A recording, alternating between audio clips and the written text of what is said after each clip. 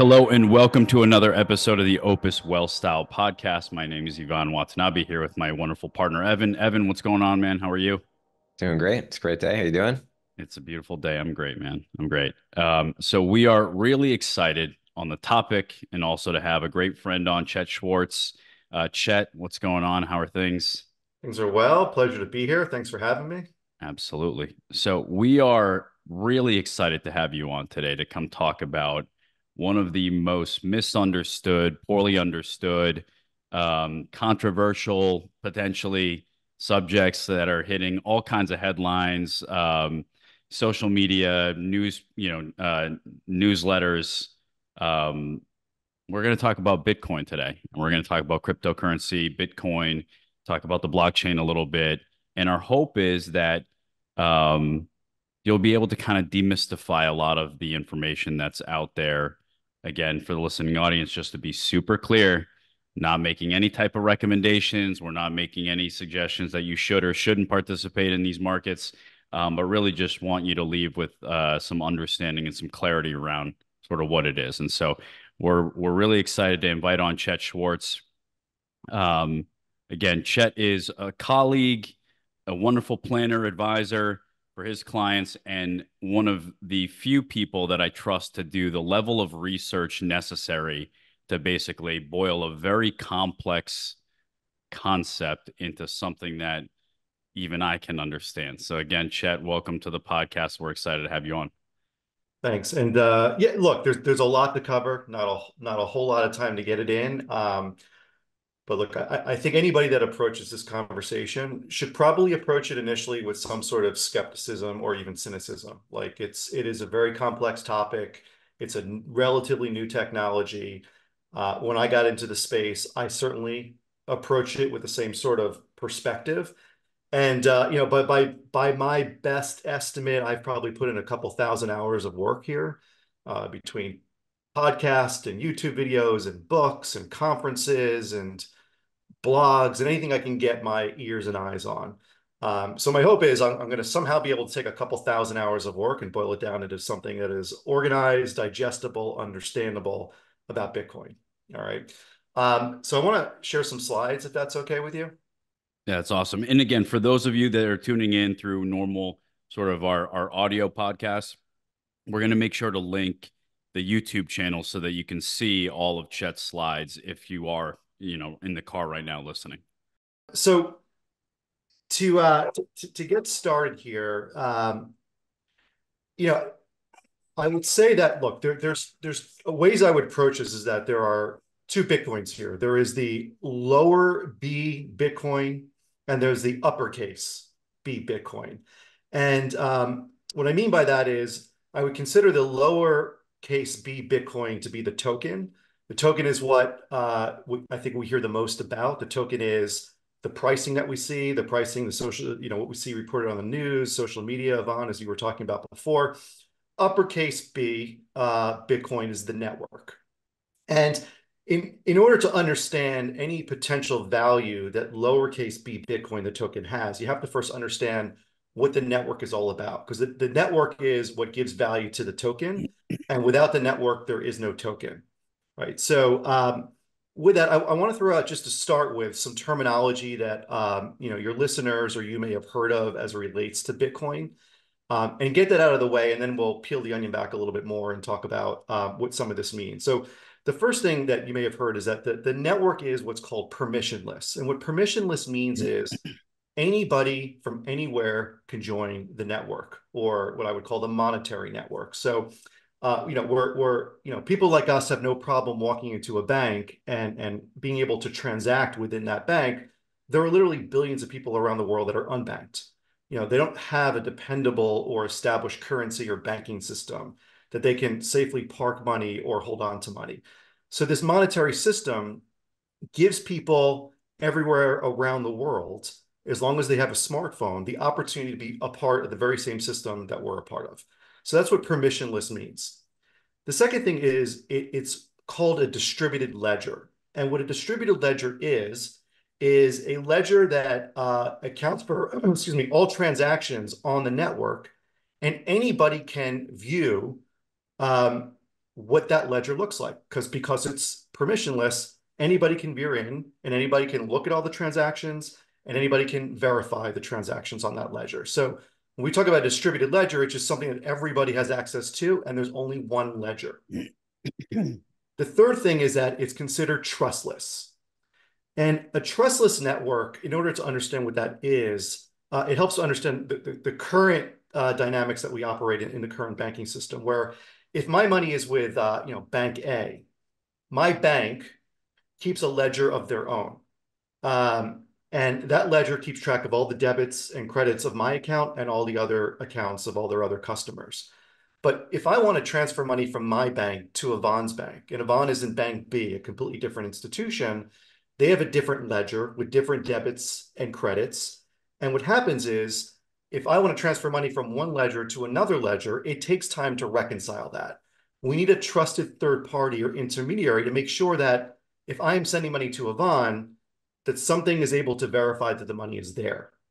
Um, it also wants to make sure that if I send the money to Iván, there isn't something called a double spend where I don't try to simultaneously send the same funds to Evan. So that is why it often takes days for an ACH or a check or even a wire to clear because banks are all working off of different ledgers and there are thousands of banks with thousands of different ledgers and they all need to reconcile each other. Because the Bitcoin network is one single distributed ledger, it eliminates the need for having that trusted third party or intermediary for transactions to occur because everybody shares the same exact ledger and everybody can verify exactly what transactions are occurring exactly how many tokens are operating or circulating on the network. Um, and it, it, it, sort of uh, minimizes a lot of the complexities that we're used to dealing with day to day in the current banking system. And because it is a distributed, permissionless network where we don't need a trusted third party, it's also referred to as a peer to peer network. And what that means is without the, ne- the necessity of another bank getting in the middle of things, I can send money directly to Iván, and money being in the form of a token. I can send money uh, directly to Evan. I can send money directly to anybody, anywhere in the world, anytime. And finally, the network runs 24 7. So when I'm sending money from one person to another, I can do that uh, any time of day, any time of night, uh, any day of the week, any holiday. The network never shuts down. It's always operating. So those are some of the, the, the high level, you know, terms that I think are important for distinguishing some of the elements that make up this network and why it's starting to get so much attention. Um, before I move on, any questions there? Any comments? No, I mean, I think I think you know, I think you're establishing a good baseline for the audience just to kind of understand why why why this is an even why this is even a solution, right? To to a potential problem. And I think you're going to kind of go through what what the challenges are within the normal traditional banking system as we kind of have it. Yeah, yeah, exactly. um, so to to build on that, uh, you know, so what is Bitcoin? It's it's the most widely adopted decentralized digital money, right? It's a digital form of money. Um, and it operates on a decentralized network of computers using blockchain blockchain technology, which is uh, a little complicated, but what decentralized means is there's no one government running this. There's no one business running this. There's no one computer that this runs on. It actually literally runs on a network of computers, uh, tens of thousands, if not by now, you know, over 100,000 different computers. And again, all of those computers are operating and sharing the same one ledger.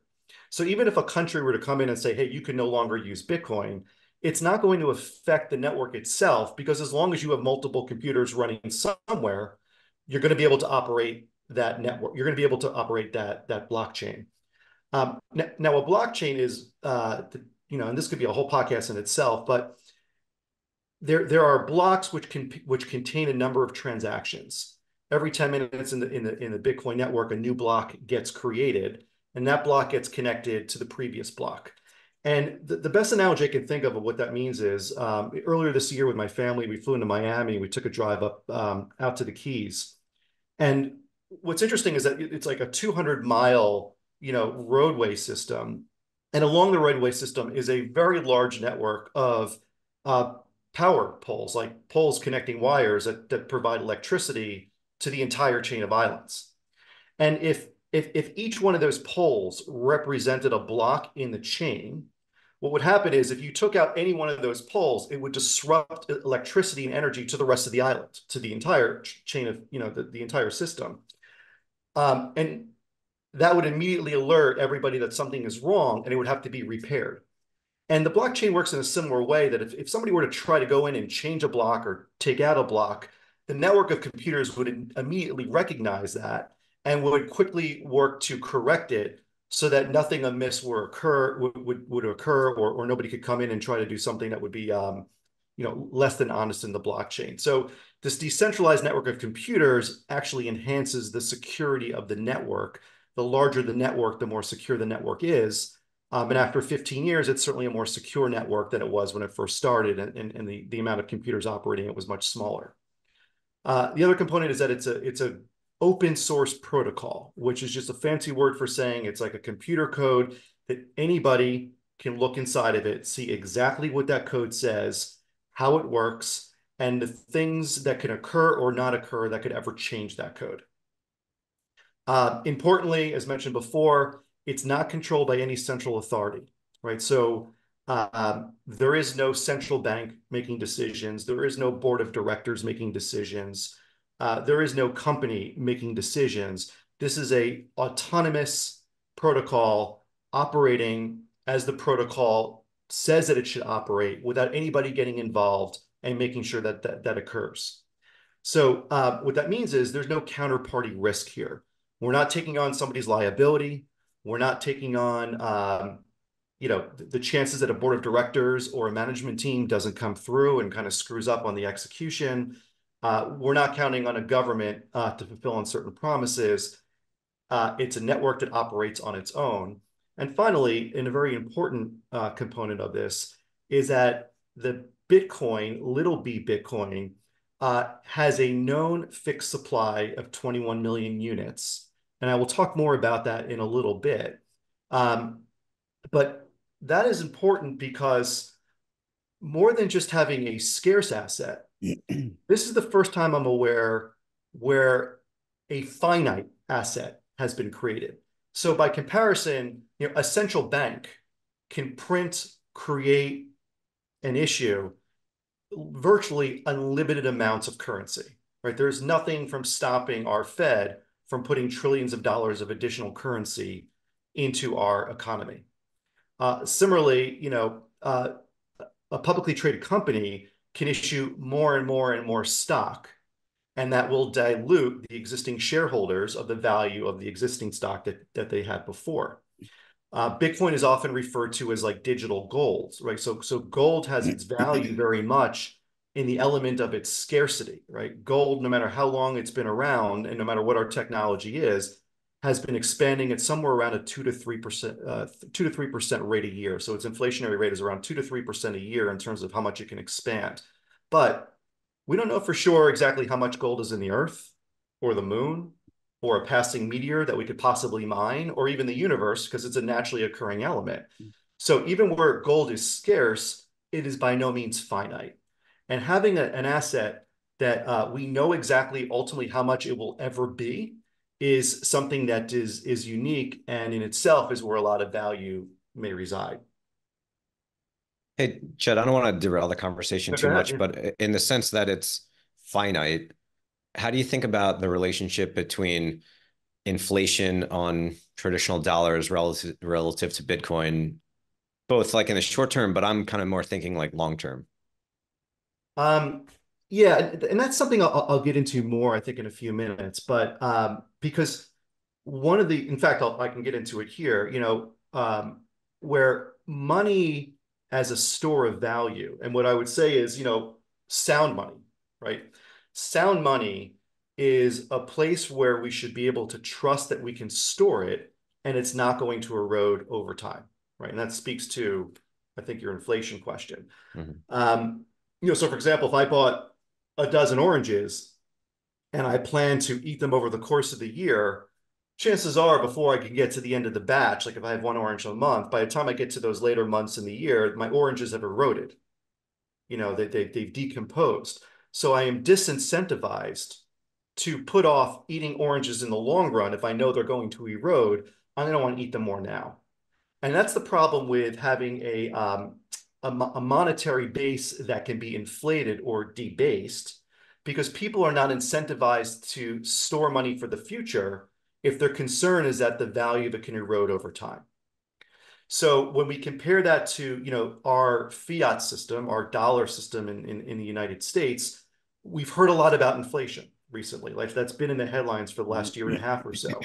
But even if the Fed had their way, and the Fed could peg inflation to two or three percent a year, or three or four percent a year, what that means is the value of our money is going to be cut in half every 18 to 24 years on a three to four percent inflationary rate.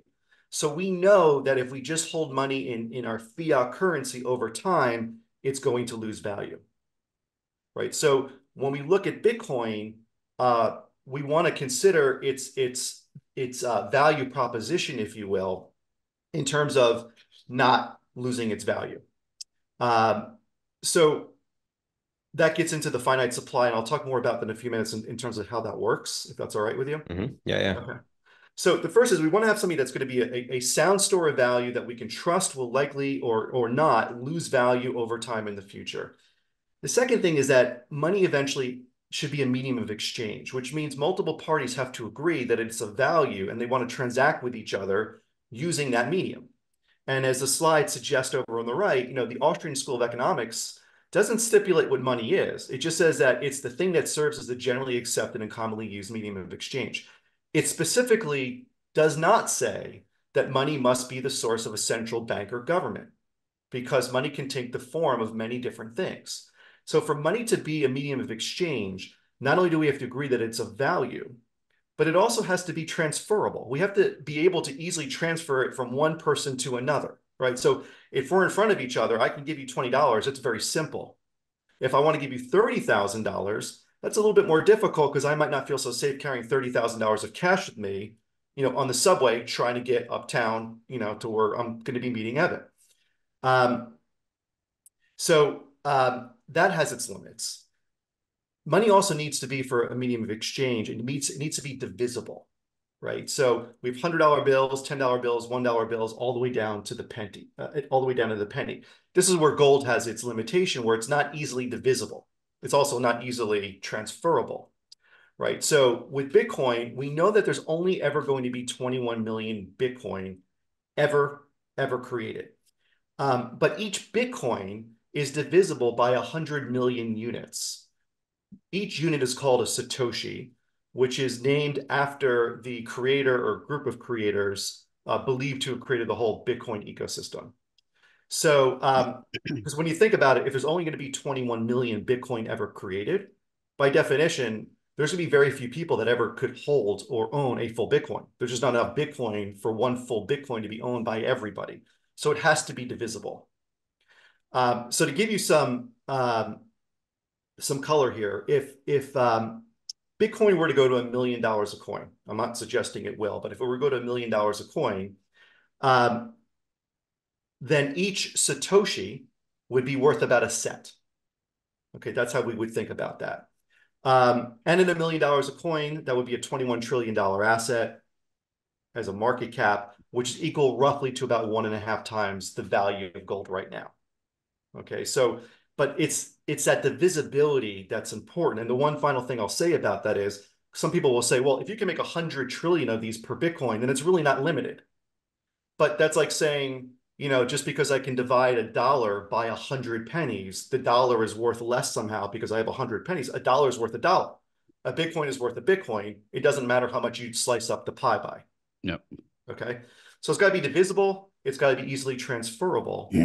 and ultimately, where money eventually moves to is that it becomes a unit of account, right? So if we say right now Bitcoin is $65,000 a token, that's relative to the US dollar. If I go to Europe, it's going to be relative to the euro. If I go to Japan, it's going to be relative to the yen. At some point, sound money becomes the unit of measurement where one Bitcoin equals one Bitcoin, and it's not relative to anything else. We're far from that, but at some point, I think that's the grand vision uh, for a lot of people that are in the Bitcoin ecosystem of where it eventually is going to be going to. So in the grand vision, long term, less tied to inflation on the dollar, right? Like my where where I was going was if if the dollar is continually degraded by inflation, wouldn't the price of of Bitcoin have to increase just like everything else? All other asset values increase just to to keep up with inflation. Yeah. So what I would say is um, it's possible that Bitcoin isn't increasing in value as it has been on its own. It may be increasing in value relative to the dollar because mm-hmm. the dollar has been decreasing in value. Mm-hmm. All right. So that that's the way I might think about that from an inflationary perspective. Um, but when we think about digital money, like this concept of digital money, it actually to me seems to be like the natural progression of where money should go when we think about the digitizing of so many other things in our world, right? So we have what starts as the analog world, and over time it evolves into the digital world, right? So we started with physical books. When I was a kid, I would go to the library and I would actually go research with things in the encyclopedia, and I there would be like a Dewey Decimal System for me to locate books on shelves somewhere in the library. Like kids don't go to libraries; kids go to the internet because everything has moved on to a digital format where all information is accessible, you know, on a phone or a laptop, right? When we think about film, right? Like uh, you come back from vacation, you had 36 pictures you could take on one roll of film. You hope that some of those pictures came back good but now we can take unlimited amounts of pictures, store them in the cloud, and, and the quality of those pictures is better than any camera we ever had before. Um, you know, snail mail, taking days and days and days to get or longer to get from one person to another. Now we can instantly send an email in a digital version from one person to another. And we can send it out to many people at once. You know, AM, FM radio compared to streaming music on demand on Spotify uh, VHS and DVDs. Now we've got streaming movies on any number of different services that we can all subscribe to. You know, and when you think about it, in, in I think in, in every example here, and I'm sure people can come up with you know uh, you know exclusions here, but in, in every single single example of when analog has moved into digital, the digital version became a more perfect version than the original analog version itself. And in the same way, paper money, fiat money moving into a digital world seems to be the next evolution. And uh, you know, right now the total market cap of Bitcoin is somewhere around 1.2 to 1.3 trillion dollars. Um, and I think that is partly represented by the fact that people are just slowly um, transitioning money from the analog world of maybe traditional stocks, bonds, real estate, whatever it may, wherever they otherwise might have stored money, into a different type of asset class in a digital format. And what we see again with a digital format is we can transfer it quicker, more easily across the globe without being, you know, uh, held inside of a box of certain banking hours or having to change from one currency to the next. We can do it at very, very low cost, lower than the cost of a Western Union or a traditional wire. So we're beginning to see that as, as it picks up adoption, this digital version of money, in many ways, is a more perfect version than the original analog version. Does that make sense? Yeah. Yeah. So um,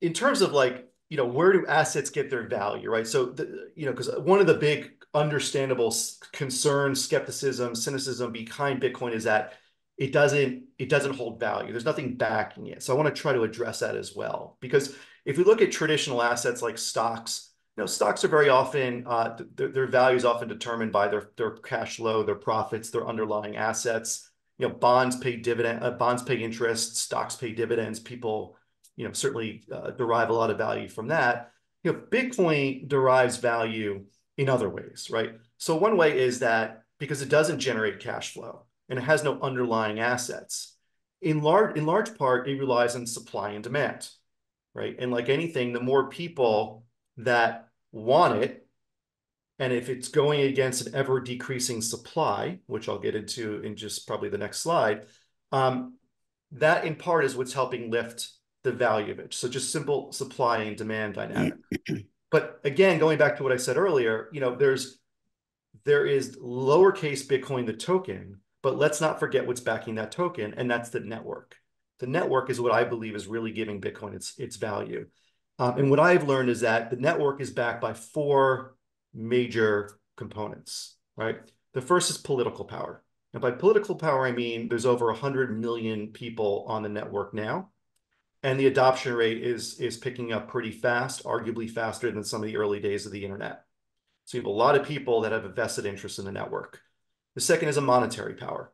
Right? So as I mentioned before, the value of Bitcoin as we sit here right now is about 1.2 to 1.3 trillion dollars. If that was a publicly traded company, that would fall somewhere around seven or eight of all capitalized companies. So it's a pretty significant asset at this point. There's computing power.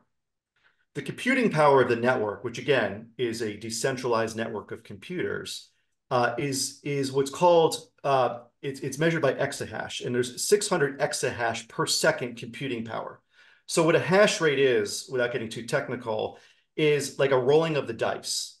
It is an attempt to solve a very complex cryptographic mathematical problem within a network. That's what's happening with a hash. Every hash is another roll of the dice to try to solve a mathematical problem to verify a transaction on the blockchain. Now, it's a lot there. I don't expect you all to get it, but to try to, you know, to try to drive home like the power of that network, for every star in the galaxy, the Bitcoin network performs 5 billion calculations per second. Um, it would take over 2,000 years for the entire world's population producing one hash per person to reach the Bitcoin hash rate. Or one final analogy, it produces about 67 times more hashes per second than known grains of sand on Earth. That is incredible, incredible computing power. And that hash rate has been exponentially increasing monthly as more and more users enter the network and the mathematical problems required to solve within the network become more and more complex. And finally, there's electrical power backing this network. Mm. And it requires a tremendous amount of electricity to power these computers, to power these rigs, to power the nodes that are verifying the transactions along the way. Um, and that in itself has a lot of value, right? So we have monetary value, we have political, we have monetary power, political power, computing power, and electrical power all backing this network. To me, that has value. Right, any questions about that? Because that's sort of the technical stuff.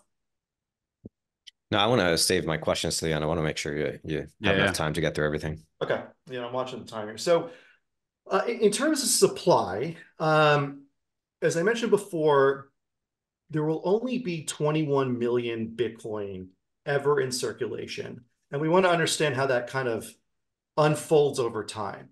So on January 3rd, 2009, the first uh, 50 Bitcoin were mined on the Genesis block. So you can see here that it started out very low. And then each year there was actually a very fast ramp up or relatively large inflation rate in terms of the amount of new tokens that started entering the, that started to enter the network. But because we started with 21 million, every time new tokens entered the network, our available remaining supply continued to go down. So we're 15 years in to this Bitcoin experience.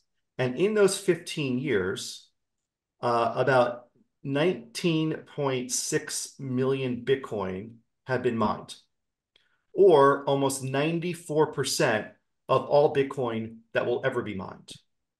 So in the first 15 years, approximately 94% of all Bitcoin that will ever be available is already out there. What we also know, based on the protocol, is that the last Bitcoin will not be mined or issued until the year approximately 2140.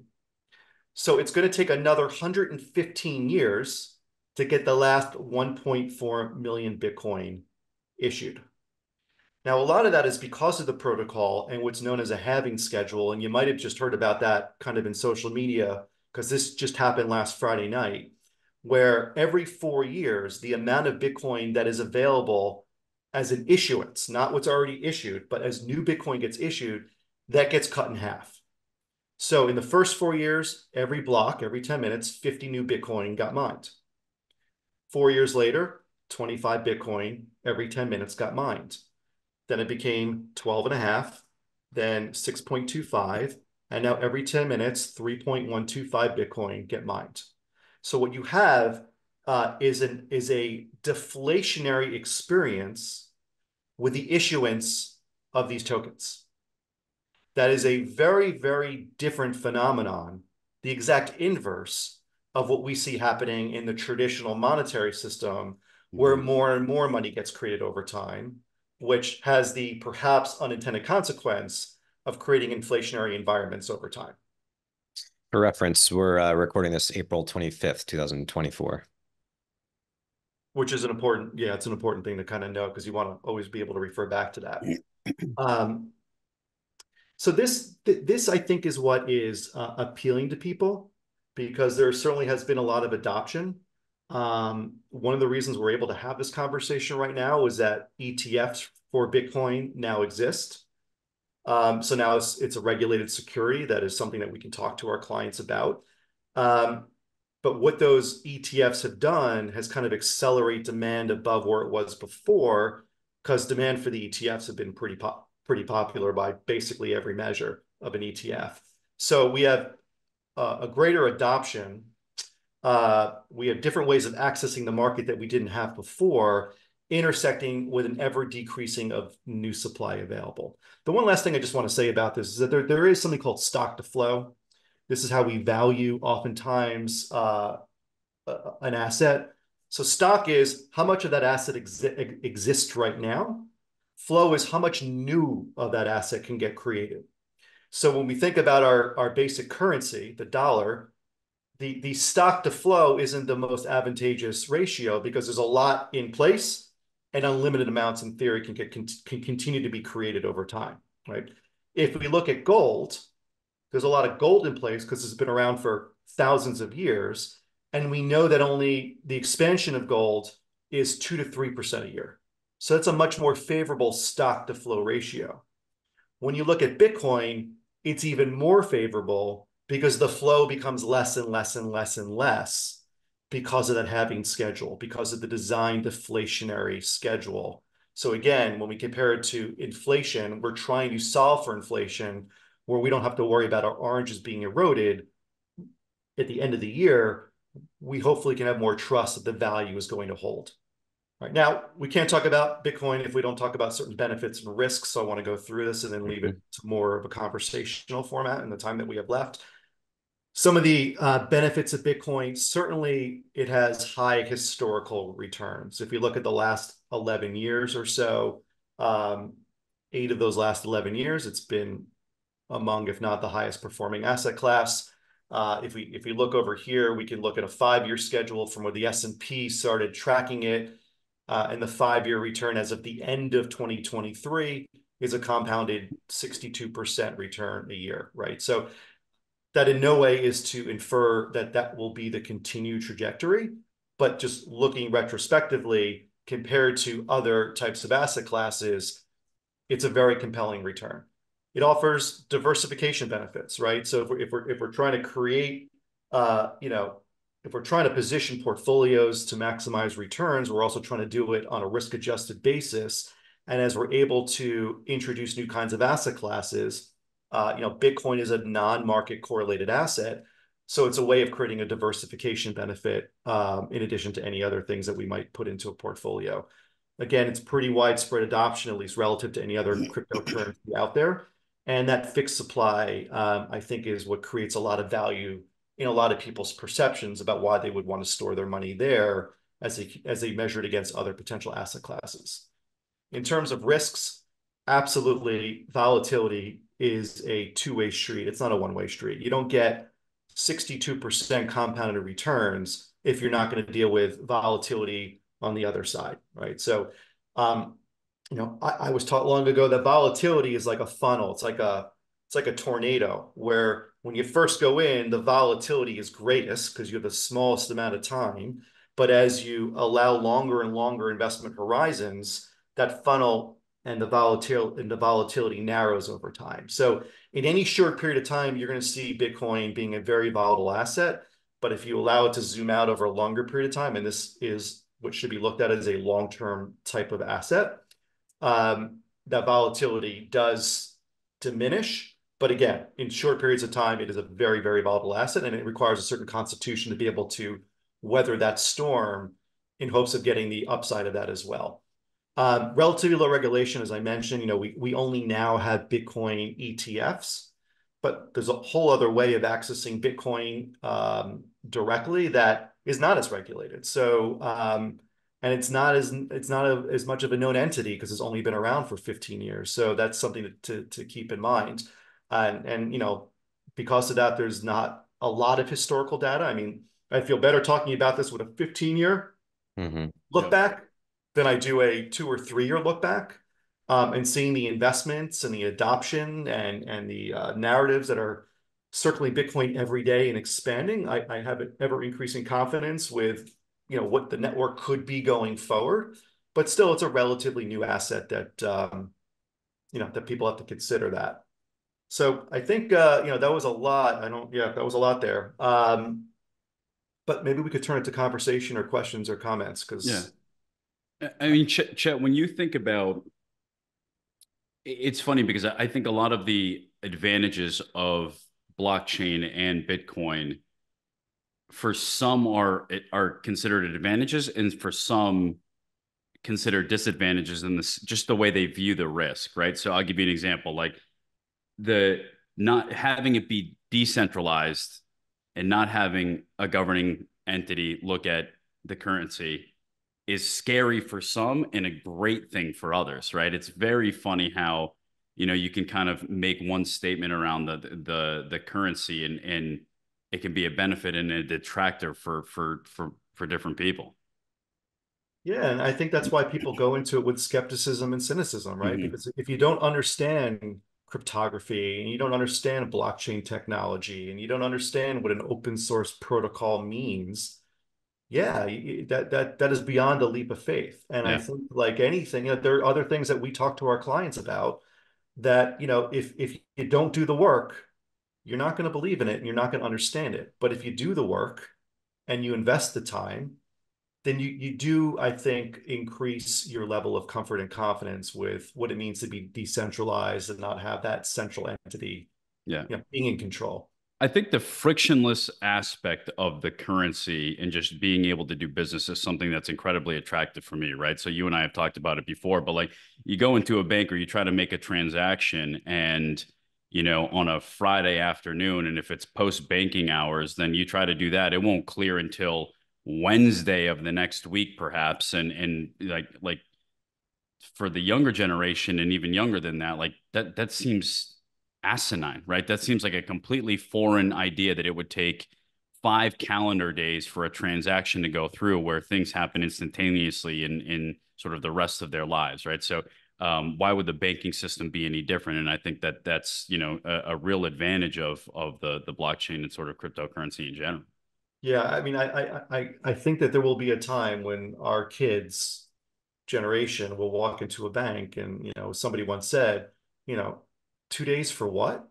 And it's going to cost me how much to do that?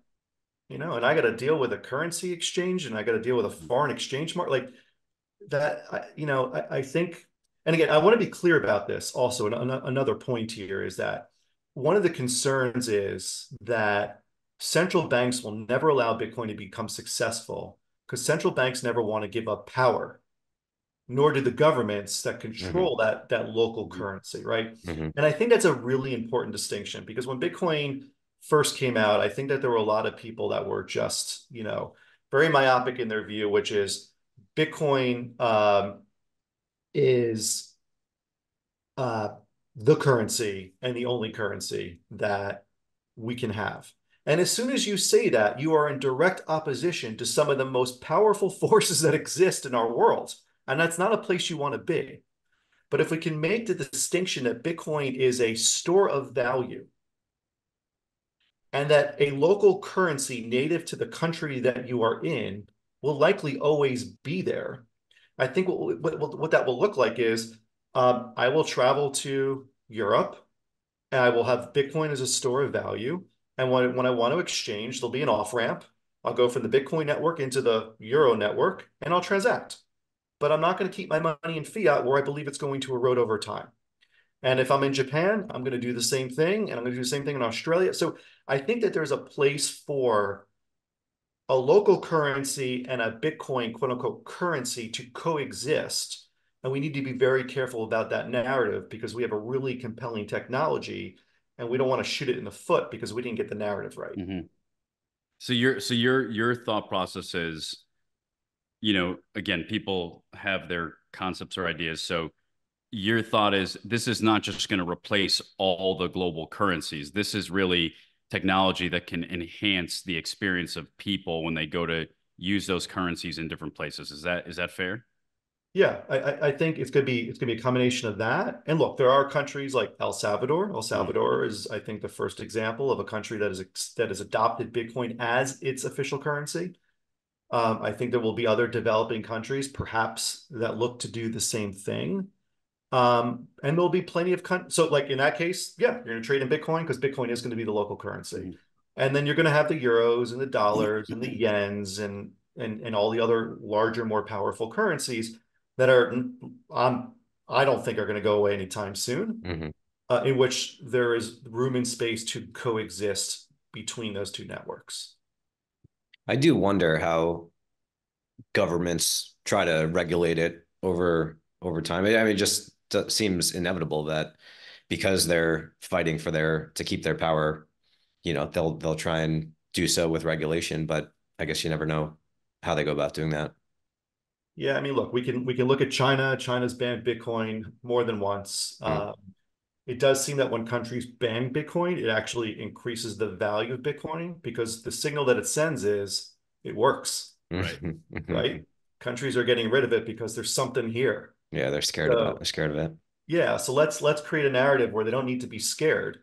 Let's create a narrative where we need local currency and we need uh, more dependable stores of value um, that are not designed in a way to erode over time. Yeah. Well, it, it, I think you know at least here in the states, right? So now it's becoming a little bit more. I'll call it legitimized, right, in the mainstream. So now we've got these spot BT spot ETF that are available um, the government sort of figured out a way to tax the growth on this, right? And so, you know, those sorts of things become. When I feel like whenever the government has an opportunity to, to, sort of get their arms around it, collect their tax dollars, and it becomes more legitimate than it was before. Right. Um, whether whether or not that's true or not is sort of that that's my opinion on it. But I think you know the opportunity to kind of figure out and have some regulation around it have large institutions like BlackRock, you know, backing these these ETFs, and, and you know, may, it makes it a little bit more I'll say mainstream, right? Available to folks to kind of wrap their arms around. Um, but given your sort of slide on on the risk profile around it, you've got to take, you know, your um, you, what what your constitution is around this risk extremely s- seriously, right? It's not mm-hmm. the same risk profile as other asset classes. Um, so you really got to kind of understand, you know, what what kind of appetite you have for for it there. Yeah, and look, like like like investing in the stock market, it, it is not a six month recommended type of thing. Like you have to have a mature, patient approach to what that asset means over time, recognizing it will increase in value and decrease in value. And, and I think Bitcoin is the exact same thing, which is you have to have a mature, patient, long term approach.